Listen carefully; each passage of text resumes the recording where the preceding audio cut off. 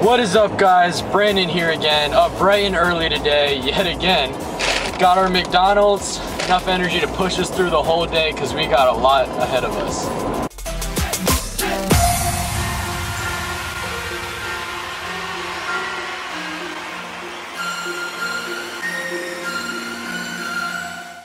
What is up guys? Now on the Weeki Wachee Spring slash trail slash river, I don't know what to call it, I'm pretty sure it's a river.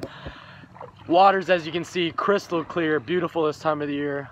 Gotta wear a shirt on because it's super cold outside.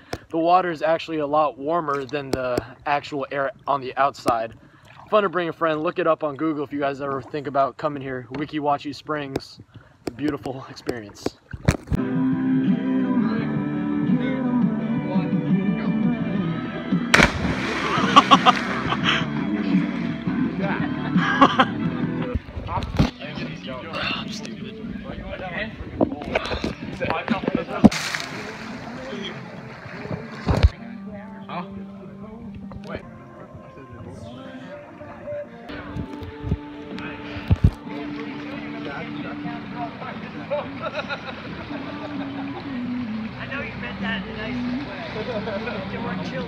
Here's where that after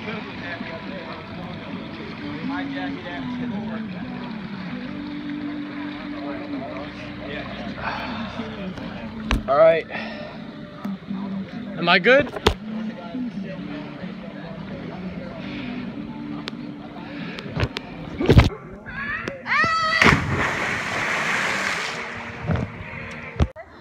All right. Just got done jumping. Ah. so, how was the jumping? Tiring. Tiring. About two hours of jumping. I don't know if it looks like that on video, but the tree is about like 40 feet in the air. Pretty sketchy once you're up there. I couldn't get any first person shots, but this kid, balance beam champ.